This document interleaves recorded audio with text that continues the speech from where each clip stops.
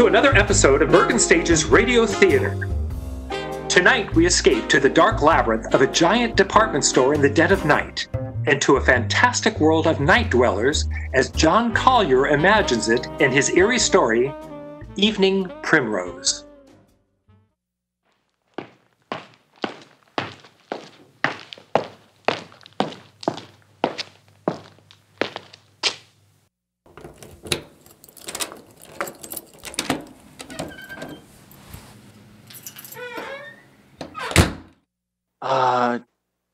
Sadie? Sadie, what's the matter? It's me.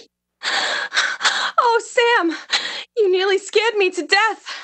What do you mean coming in so quiet? I, I didn't. Mean to scare you. I thought. I thought you'd be asleep. I didn't want to wake you. Oh, Sam, I'm glad you're home. Hey, hey, what's the matter? Oh, it's terrible. You gotta do something, Sam. What's terrible? It's this. Just look at this. What's terrible about that? Looks like an ordinary pad of paper to me. That's it. That's just what I thought. But it's got writing in it. It's awful. Now wait a minute. Maybe you better tell me what this is all about. Well, today I went shopping down at Macy's department store Yeah. and I needed some paper. So I picked this up. It was on top of the pile and bought it and brought it home. But tonight when I opened it, I found it's got writing in it. Well, that's not so terrible. Just take it back tomorrow. Make them give you a new one. Oh no, you don't understand. It's what's written in it that makes it so terrible. What do you mean? What's written in it? Here, you gotta read it. Oh, Sadie. No, no, right now, read it. Look, Sadie, I'm tired. I've been bowling all evening. Please, Sam, please, just read it. Uh, all right, but for, for Pete's sake, October 13th. Today I made my de- decision. I decided to say goodbye to the world and get out, leave, break away. And I have done it. Sadie, this is a lot of. Go on, read it. Uh, and now I am free. Really free. Really free. Yes, I am free. Yes, I'm free at last. The world is an intolerable place for a poet. I was broke, starving, at my wits' end. Then I had a brilliant idea. I would escape to a place where I had no need to earn a living, where I could write to my heart's content in peace and security. Where is this place? Right under your nose, so close you'd never think of it. I am now living in Macy's department store. I have everything within an arm's reach that anyone would ever need or desire. And it's all free. Absolutely free. I arrived this afternoon. I had spent three days looking all over the department stores in town. I decided on Macy's because its completeness of the food department. Therefore, this afternoon, I entered the store and went immediately to the fourth floor, to the rug department. I hid myself in this dusty, out of the way corner behind a pile of carpets. Once I'm settled, I'll furnish it with some of the best modern pieces from the furniture department. It's small, but I'll be cozy enough and safe. After the store closed, I made my first venture out. I tiptoed as far as the stationery counter and got this paper, the writer's primary need. Now, after making my initial entry, I'll go out and get food wine, the pillows from my bed, and perhaps a fancy dressing gown. This is perfect. I'll be able to write here.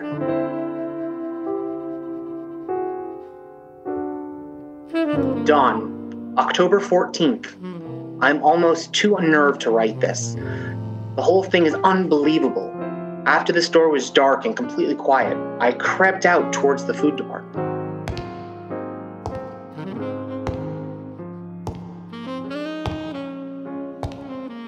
One's footsteps echoed hollowly in an empty department store at night. I found myself gliding along the floor on tiptoe, moving as silently as possible. But the sounds of footsteps persisted. Suddenly, I realized they weren't my own. The night watchman. I was in the Salon Modern, Quickly, I seized a mink coat from a hanger, draped it about my shoulders, and stood stock still. I could have reached out and touched him, but he passed without so much as a glance. I started to smile, but the smile froze on my lips. There was someone else here. I was looking straight into a pair of eyes large, flat, luminous, inhuman eyes, peering at me from among the Mrs. Tailored suits a dozen feet away. They belonged to a creature dressed as a man, but he was as pale as a creature found under a stone. His hands, hanging motionlessly at his sides, looked more like fins on a fish than human hands. Then he spoke. Not bad for a beginner. I'm sorry? I didn't know anybody else uh, lived here. Oh, yes, we live here. It's delightful. We? Yes, all of us. Don't you see? Look around you.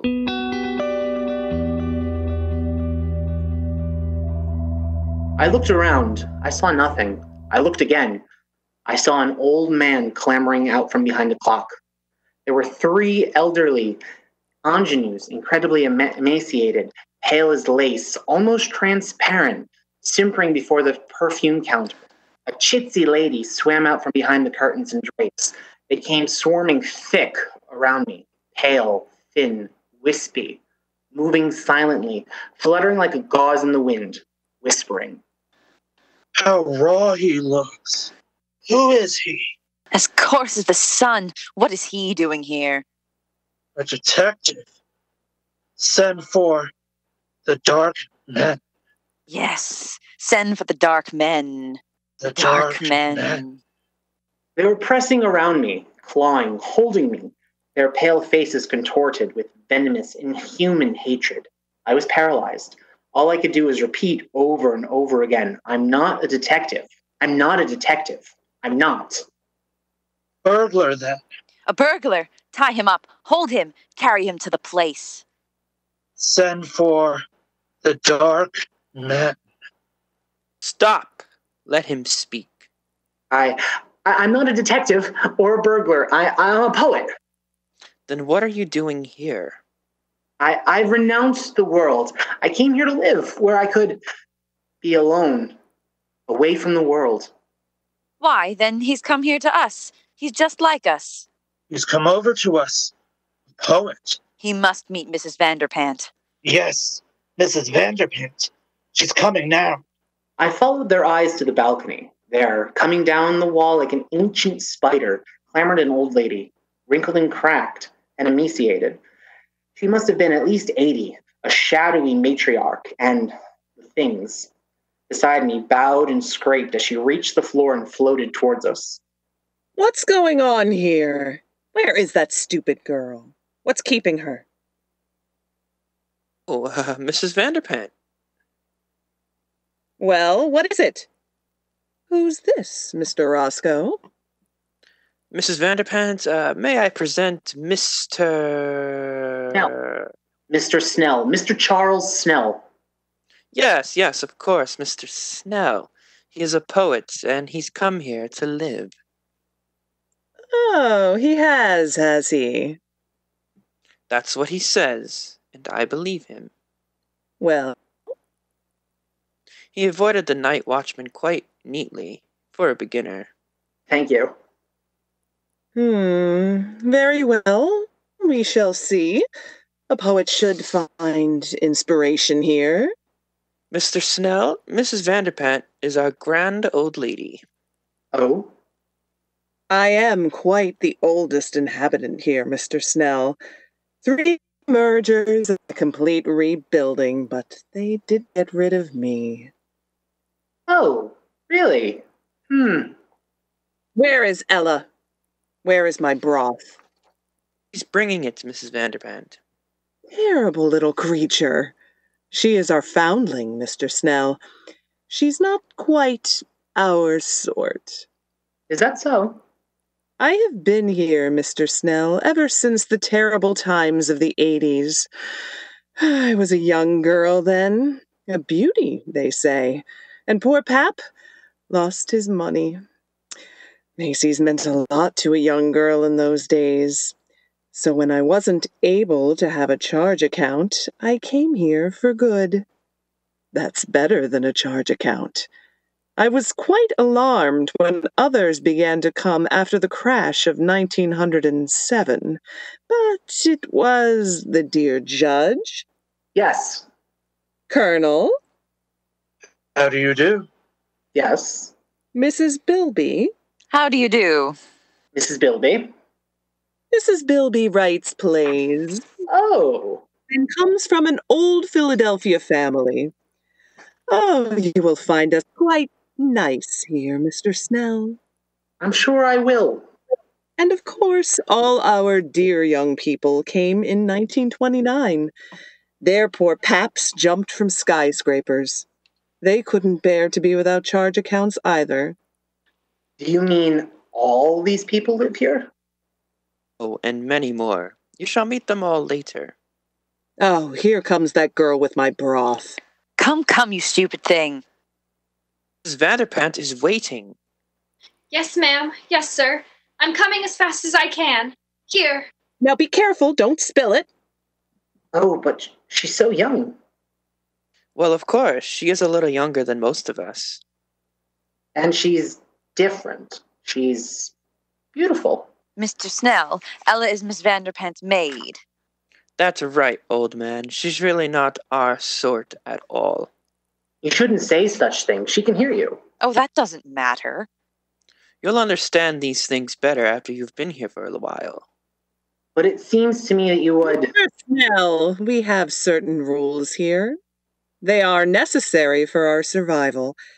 I'm sure you won't find it hard to observe them. Well, yes, I appreciate. I should advise that you try. If you do not, that would be most unfortunate, Mr. Snell. Most unfortunate for you. October 15th. You can imagine my feelings last night. My first thought was to escape as quickly as possible. In fact, I planned to wait till morning. When the store opened, then quit my hiding place, mingle with the crowds, and leave Macy's forever. But just before dawn, Mr. Roscoe brought me a cup of coffee, which must have been drugged, for I fell asleep. And when I awoke, I found I slept all day. The night was closing and over in the store once more. Later, I spent my second night here. I saw Ella again. Ella, the pearl of this remote, fantastic cave. She's not like the others. A trifle pale, but otherwise normal, and human, and beautiful. A child perhaps of 18, she's the only thing that makes this nightmare bearable. October 20th. Escape seems almost impossible. There's a very effective burglar alarm system, and the doors are all carefully guarded. But that's nothing compared to the Darkmen. Who are the dark men? I don't know, but they threaten any transgressor with these dark men. I shall try to discover who they are. At least, I'm sure I'm watched. Though they've begun to trust me now. Speaking to the Night Watchman would be suicide. Even if he believed my fantastic story, but didn't shoot me as a burglar. I'm convinced that neither Ella nor I could get out of here alive. She and the Night Watchman are the only real people here. And how the others hate the Night Watchman. Odious, vulgar creature. He reeks of the coarse oh, sun. Oh, come now, Mrs. Bilby. He's a personably young man. He's very young for a Night Watchman. Mr. Snell, sometimes I wonder about your taste. You mustn't stay so much to yourself, Mr. Snell. You must become better acquainted with our ways. Yes, old man, you must come to the play tonight. We're going to be entertained with one of Mrs. Bilby's tragic comedies, Love in Shadowland. I'm sure you'll enjoy it. I'm sure I will. It's really a festive occasion, you know. Wanamaker's is coming over, you know. Wanamakers? Yes, the entire colony over at Wanamaker's is coming here in masse to attend the play. You mean there are other people living in other stores? Oh, dear, yes. Didn't you know? Of course, the best people live at Macy's and Wanamaker's. Oh, come now, Mrs. Bilby. There are some very nice people over at Altman's. I beg your pardon, Mrs. Bilby. Oh, hello, Ella. Good evening, Mr. Snell. Mrs. Bilby, Well, what is it? please, ma'am, I'd so love to see your play tonight. May I have your permission? Certainly not. You know better than that, you stupid creature. You know where you belong. In the basement with the garbage cans. Mrs. Bilby, couldn't you? No, hush, Mr. Snell. Uh, you're becoming entirely too forward as of late. I'd advise you watch your step. Remember the dark men. Oh, no, please, Mr. Roscoe, I'll be good, I promise. I will. No, please don't send for the dark men. I'm sorry, Mrs. Bilby, excuse me. Ella, come back.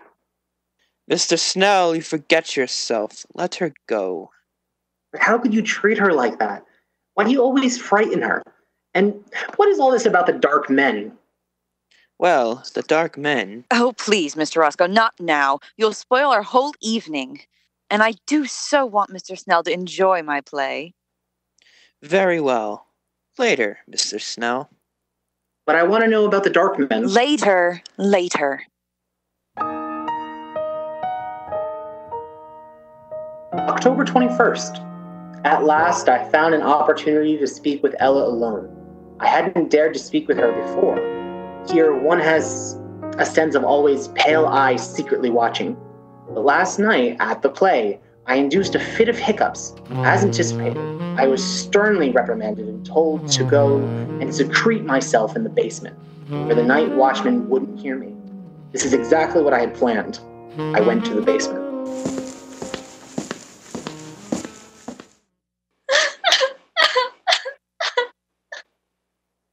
There, in the darkness, among the garbage cans and the rats, I heard sobbing. Ella? Ella! Oh, Ella, is that you? yes. Why are you crying? What is it, Ella? They. They wouldn't even let me see the play.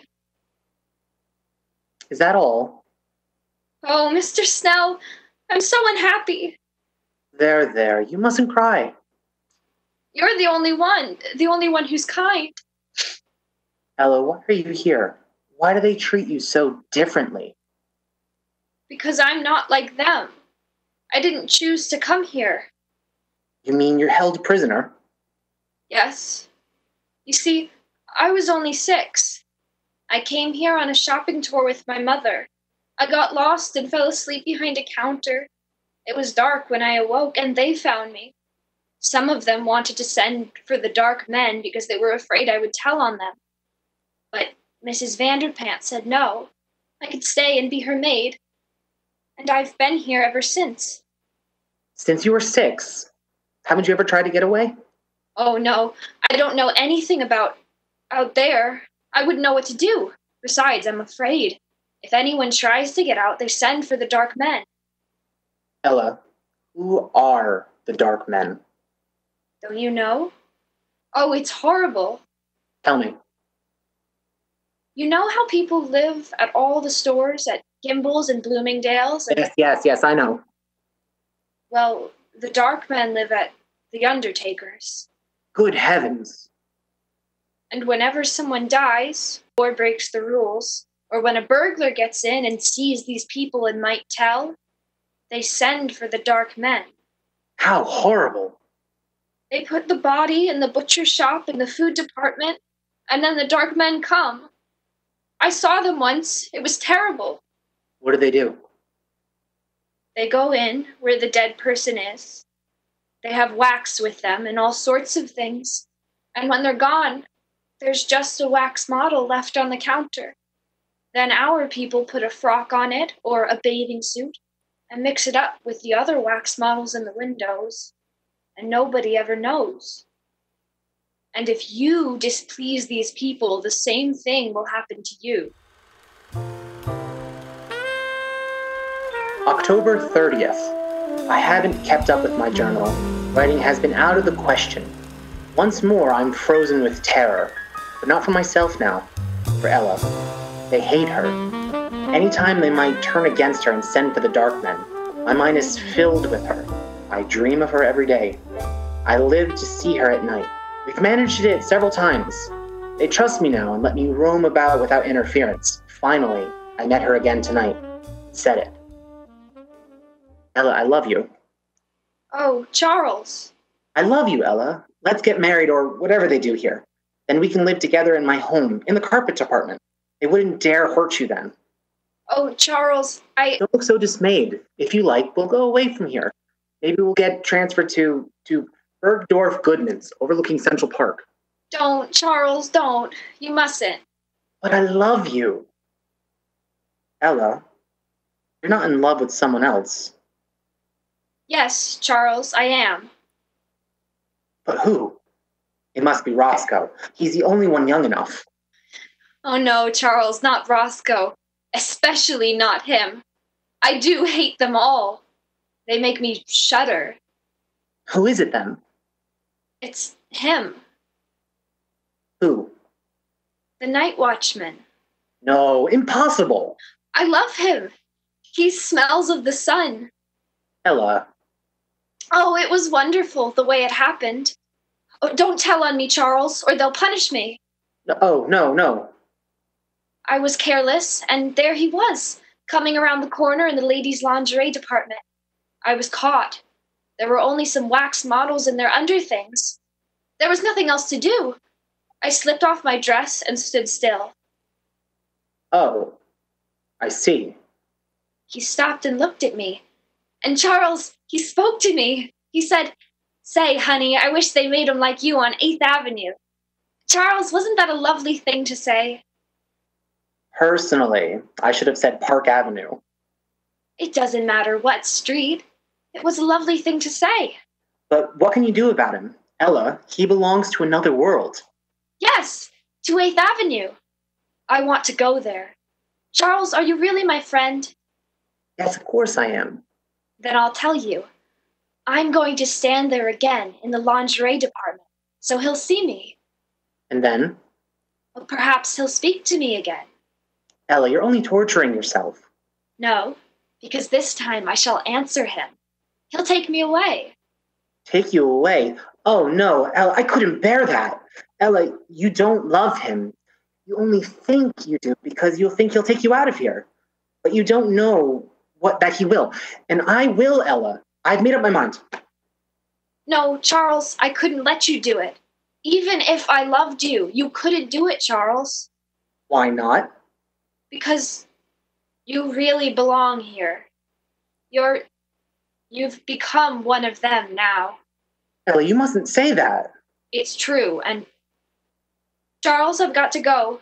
There's someone watching us. I feel it. No, wait, Ella. Goodbye, Charles. No, Ella, come back. Ella! Please, old man, you'll arouse the night watchman. Roscoe. Yes. Oh, love can be very upsetting, can't it? You heard. Yes, just the last moment or so. Very touching, and yet it's understandable. I've been attracted to Ella myself. So she loves another, hmm? Too bad, old boy. Who could it be? Could it be that I'm the cause of your heartbreak? You flatter yourself too much, Roscoe. Well then, hmm. The old judge? Oh, certainly not. No. Oh, not one of the customers. The staff? She loves the night watchman. Can you believe it? She loves the. Oh. Roscoe, I shouldn't have said that. It's not true, at least, I don't think it's true. You wouldn't. Roscoe, you said you loved her too. You wouldn't do anything, tell anybody. This is a secret between us, between friends, isn't it? Of course, old man. As secret as the grave. She's young. Perhaps he'll leave and she'll forget of him in time. Who knows? Perhaps she'll learn to love you. Me. Of course, in time. And we'll figure out a way to keep her safe here. Absolutely safe. Now don't you worry about it. It's almost dawn. Time for bed. Good morning, Mr. Snell.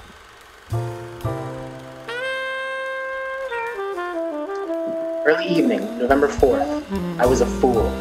I should have known he couldn't be trusted.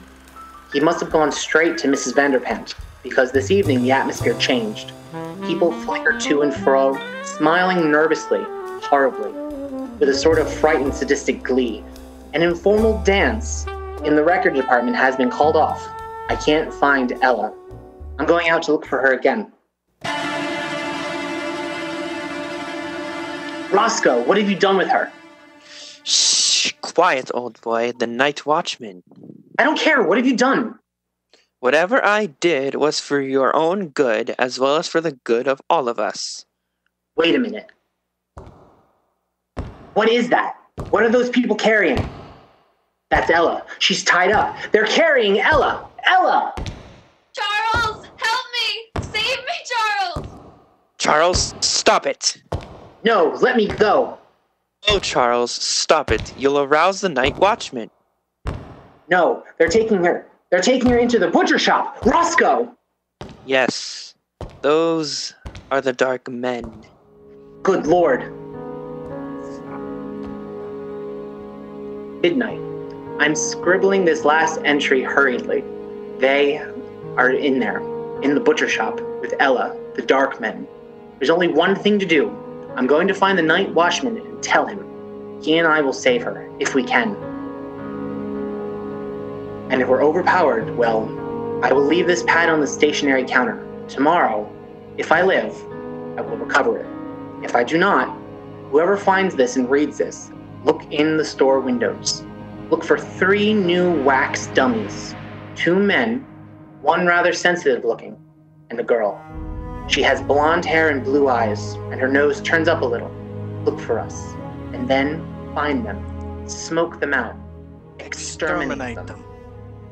Avenge us. Oh, Sam, isn't it horrible? Wow. Well, we gotta do something. Tell somebody something. Oh, Sam, what do we do? Do? Nothing. Go to bed. But Sam! Whoever wrote this has sure got a weird sense of humor. It's probably some clerk down at Macy's who ought to be fired. But you mean you think it's just a story? Are you kidding? You don't believe this stuff, do you? Well, well, I don't know. I Oh, forget it, baby. Just snap out of it. I shouldn't leave you alone. You get too many ideas when I go out bowling at night. but uh don't you think maybe we ought to just take it back and show somebody? Ah, nuts. It's not worth the bother. They laugh at you, baby. They think you were crazy or something. Yeah. Yeah, I guess you're right. I guess I was silly. Forget it. Ah, come on. Let's go to bed, huh? I'm tired. Okay. Okay, Sam. Gee, you know, for a while there, I sure was scared. Oh, I even forgot what I was going to tell you. Sam, I found the cutest dress today. Only 1995. Yeah, baby? Yeah. It was in the windows at Macy's. It was on a beautiful little wax model with blonde hair, blue eyes, and a turned up nose. And there were two men standing beside Sam!